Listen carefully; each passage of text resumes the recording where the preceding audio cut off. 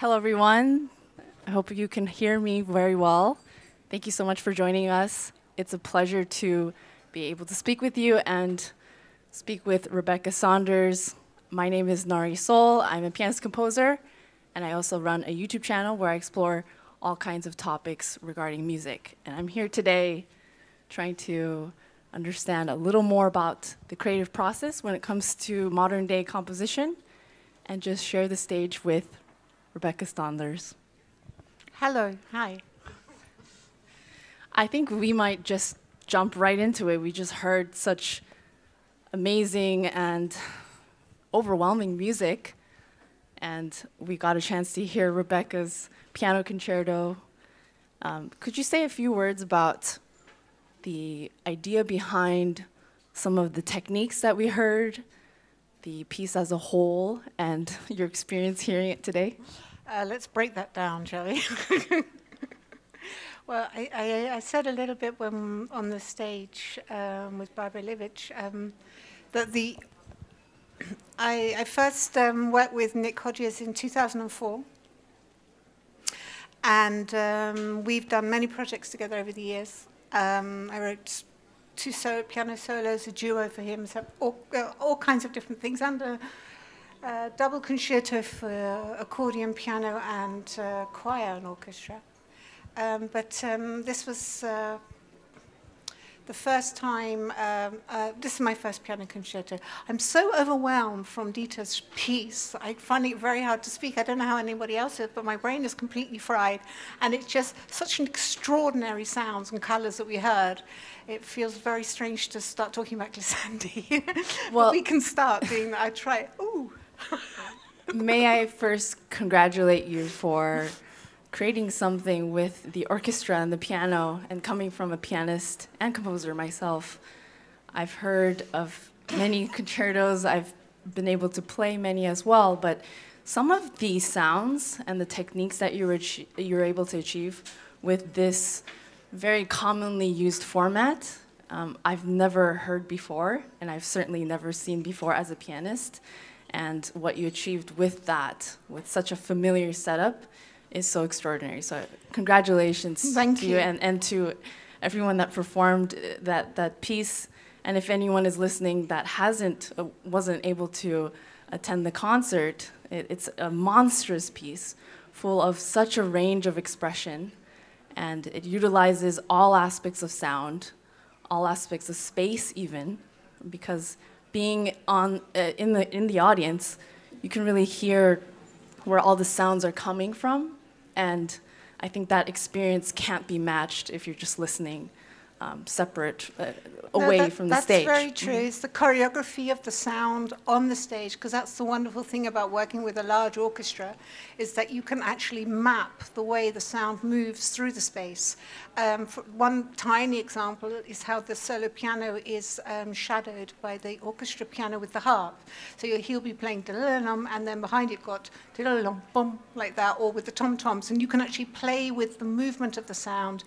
Um, you can also, of course, with timbre, you can bring the, just even taking one, one note and um, invisibly um, sewing it in from one note to the next is also really, really fun. But there's that spatial aspect with an orchestra which is very, very special because you just have a hell of a lot of musicians on the stage.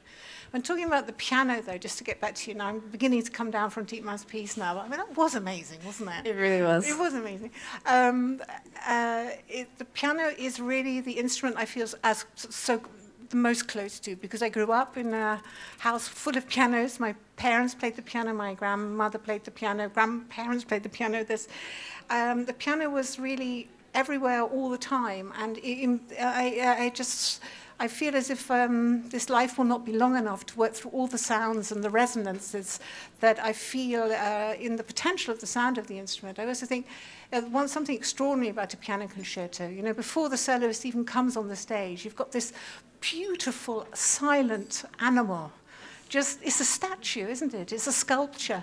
Um, and it, it's inviting you to uh, already your um, focus and concentrated. And there's a strong theatrical element, I think, about a pianist sitting down at the piano, and before he does he, he plays even the first note, uh, you're already completely absorbed in the performance situation. So I, I, I think writing a piano concerto is something I left for a long time, but it was something I've always wanted to do.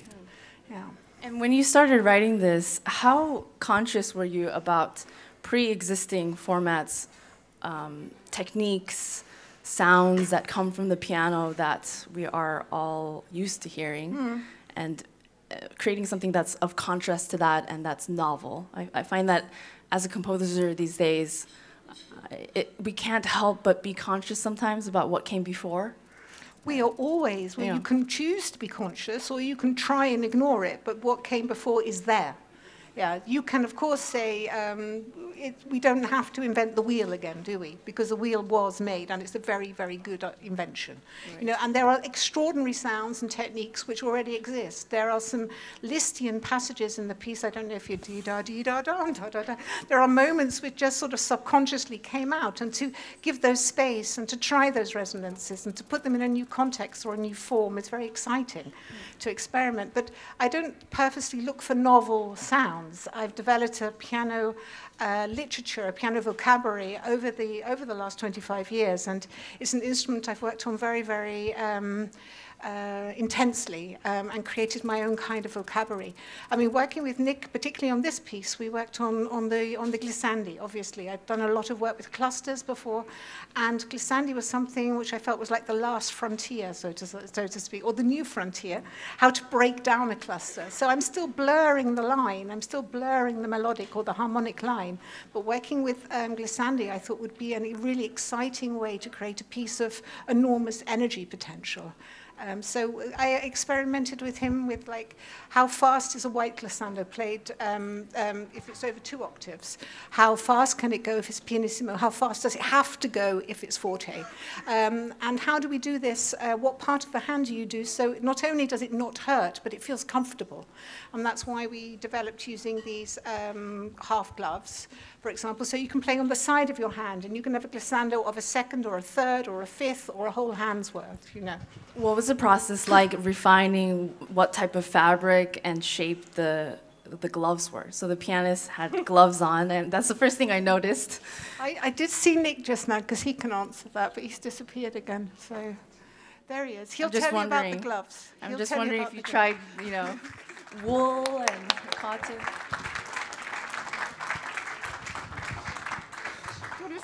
No, no, no, you stay there. Means I can strangle her from behind for all those things she made me do. Um, Bravo, first of all. Thank you very much. Uh, the gloves are, yeah, I mean, it's an interpretative choice uh, that on each concert they're different, and it's depending on the conductor and the orchestra and the public and the acoustic. And no, that's all not true, obviously. Um, they have to be wool, unless they're fleece in Italy, in La Scala, I played with fleece gloves, so plastic basically, sort of nylon. And the problem with them was they went all over the piano keyboard and, and disintegrated. And then the piano technician came back afterwards and was like, Are you okay? Because I'd left all this stuff all over the keys. But basically, they have to have no fingers so that I can play properly, and they have to be smooth, and otherwise, there's no difference. Yeah, but the problem is they run out. I mean, I get big holes in my I get big holes in the palms of my hands. I have another question. You use your forearms a lot. Are you conscious of what kind of fabric you're wearing as a, shirt or a blazer? Well, the jacket's quite thick. Okay. and I don't care about pain, so.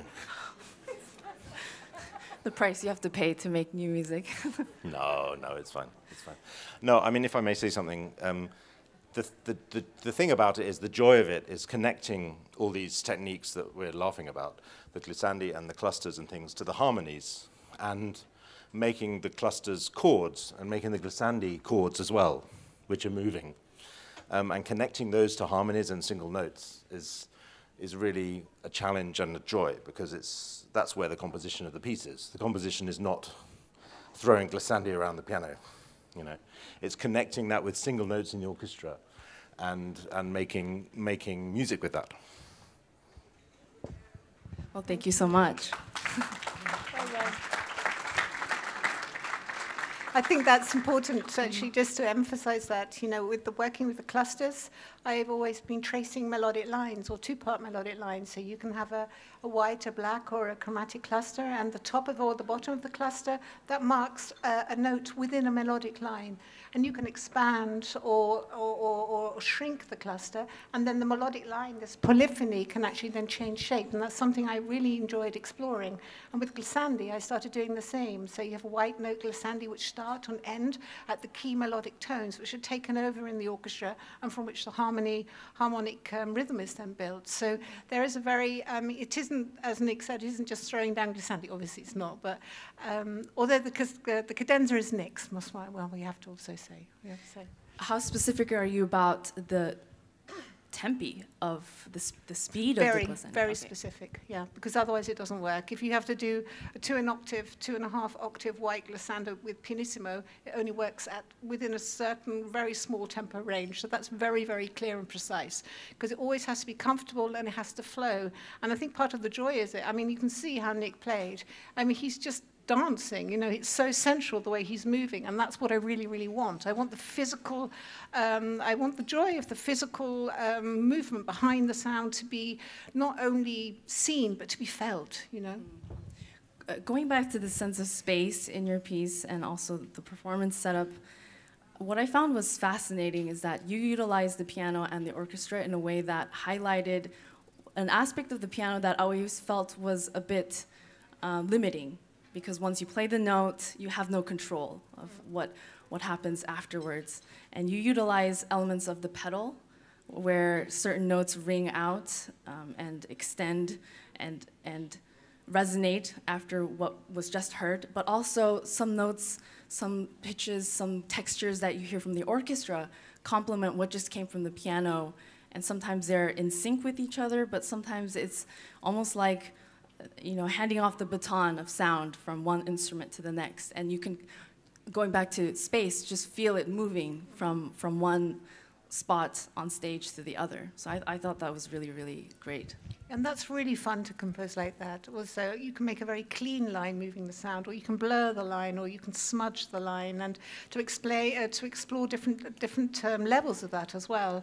I mean, you've got there are so many different um, um, aspects, which or, or levels, I suppose, or surfaces which feed into making a, a composition of that complexity. And one of them um, is is also tracing this melodic line. Um, yeah. Besides these details that you mentioned about the melodic lines and the clusters and the techniques, what is the type of groundwork that you do before writing a piece like this?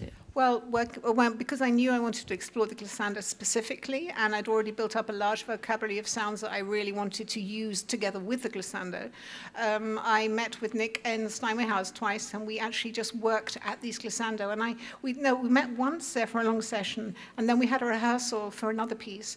Um, and um, I asked, and I had sketched um, several passages for the solo piano, and tried things out, and started to really um, develop uh, well, the, the, what was really important was to develop a notation which was extremely uh, economic and precise. And with that notation, then to actually move on further with the sounds themselves, because composition is also here, but it's also extending a notation. There's that other, other, other level as well, and the notation has to be very, very precise and very clear, so that the pianist, even though he seems to be playing very unusual, unconventional sounds, they're still very strongly based upon the classical um, notational tradition. So a musician um, recognizes that immediately. So that was super important. And basically, I just wrote like seven very long passages for the piano and uh, sat down, I mean, which is what I mostly do. I prepared um, uh, the percussion palette. Uh, it was very clear for me that I had to build up uh, a palette between the orchestral um, piano, the harp, and the orchestral percussion, and several gestures um, or kinds of gestures or units or um, elements of gestures I, I create, I sort of set up to start with. So I had like kind of timbral palettes which were established to start with. I, I wrote a series of harmonic chords which are all very closely related to each other um, and had central tones on central to tones or chords within each of these um, piano, seven piano solo lines that I had written. And then I stuck it all on the wall and started on page one and wrote the piece. So And when exactly did you write this piece? I wrote it um, from the end of 19 through to the end of April 20, so in the lockdown, basically, first lockdown. And how, how is this piece different or similar from your other pieces? I don't can't answer that. You can't answer that. How come? I hope they're all different from each other. No, I do know that. I mean, my pieces are, are, are there, there are recognizable um, um, timbral uh, palettes and gestures or expressive uh, mechanisms, perhaps, which are recognizable in my music. Um, I think what's different in this piece is the piano concerto. Yeah, um, it's very much a piece about the piano, which is embedded in the orchestra, which disappears and resurfaces, um, and it's the only piano concerto I've written. So obviously, it's different from the other ones. I think it's so fascinating how from piece to piece, and I'm only beginning to know your, your works, your other works, um, you almost create a completely new set of rules, new set of um, just the way sound works, uh, maybe in terms of the physics of sound and how dense each sound is and, and what different pitches represent and what textural elements are, are more in focus. I, I just find that from piece to piece, it's so vastly different. And uh, you're, you're able to just recreate a new format. And I was just wondering if, um, from piece to piece, that's something that you're very conscious of, and you're building a sound world prior to putting the notes down for the musicians. I, I think in every piece there has to be something, uh, has to be, it's really important to have a, a major new challenge that you set yourself, to be asking yourself a very specific question and to be exploring something which you've never explored before. Um, it's incredibly important for me not to know what the piece will eventually be. And through asking those questions and setting up uh, a, almost a formal dilemma to seek a solution with the material I have chosen. Mostly, but not always, but mostly the piece that then uh, that unfolds when I'm while I'm writing um, is is um, is like the the answer to to that to that to to the to, to this formal dilemma. It's very hard to explain. I mean, composing itself is a process of looking, of seeking, of exploring the potential of the sounds you're using. And it's super important. Basically, I think the most important thing is to choose a material which is so exciting, has so much potential to go in so many different directions, to take a sound and to zoom right into the substructure of the thing, uh, to zoom out from it, to, to look it, at it from all different permutations, to frame it in all different kinds of ways, to, to um, obscure it in density, or to make it incredibly transparent, just to take diddle-dum, diddle-dum. That's it. Yeah, and say, what can I do with this thing? What kind of energy potential does it have? What happens if I turn it on its head and become something completely lyrical or static or very, very quiet? Uh, and to play, play around with the material. So I think the starting point is to discover a material that just um, with which you can obsess, which excites you, which drives you, and which you feel such passion about, and then to explore it. And it's extraordinarily fun to do that, you know. I, I it's it's amazing to hear your perspective of that because I was just about to ask you as well. What are some of the challenges as a composer having to um, lay out certain instructions for the musicians to kind of join you in your vision of this exploration of a, a certain sound or a certain texture? The most important thing is the relationship with the musician. Um, as something I feel very strongly about. There's no hierarchy there. We are in a relationship. Um, and working with a musician is an extraordinary privilege and it's an enormous responsibility. Um, I love to work with musicians because it's just necessary, it's important to develop a notation which they can instantly recognize and work with. So they're using their instrument perhaps in rather unconventional ways where they feel they're being pushed to certain limits, but they still enjoy it because they're exploring a different part of their virtuosity. Um, there, are, there is so much you can do with an instrument. Musicians love to be challenged, they love to be pushed, but it still has to be physically possible, and it shouldn't hurt. Shouldn't heard that. and a, it's fun, you know. You have, yeah. Well, I mean, just you know, there, there's no blood on the keys. It's okay. it's like, no, but um, it's. I mean, working with musicians over all of these these years is the most important thing, you know. And to remember, as a composer, you too are a musician. You are living, breathing musician, and you are making music. They are making music this evening, and I was making music beforehand. But we're all part of the same process. I think one of the advantages of having a, a living composer um, accessible during rehearsals and during this whole process is that you have direct um, direct feedback of where this is coming from, how to refine elements of performance. Mean, this is this is so unusual for most musicians. Uh, depending on what you're focusing on, the majority of what you write, you don't have access to uh, the composer and you can't ask questions. Uh, but on the other hand, there's a disadvantage that I see that some composers are free of, and that is the, the fact that we don't have that much time to repeat certain pieces. I mean, how often do you hear new pieces? They're, they're premieres, and maybe they're a world premiere, and then it becomes a premiere in a particular city. And even though a, a piece, even if it has many rounds of performances, it, it, still doesn't compare to having decades, centuries of performance practice related to a piece where by now, if you are performing Beethoven, Brahms, Bach, you have so much in the archives of, of tradition that has led to how it's performed now. And there's a, a significant advantage there. Do you feel that as some kind of limitation as a composer?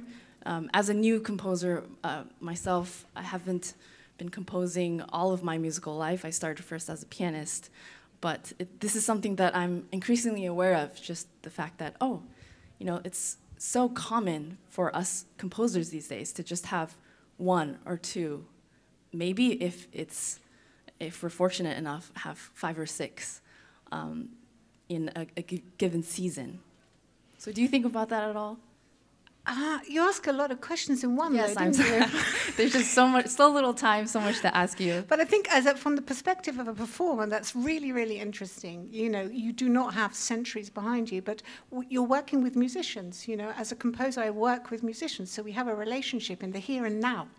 And of course, once a piece has been premiered and played a few times, or if there's recordings, then people have to, and I have to let go of the piece, and people have to make have a fresh attempt to make their own new interpretation of a piece. And it's interesting, if I listen to a piece which has been formed, uh, performed over the last 20 years, it changes too, because the musicians change.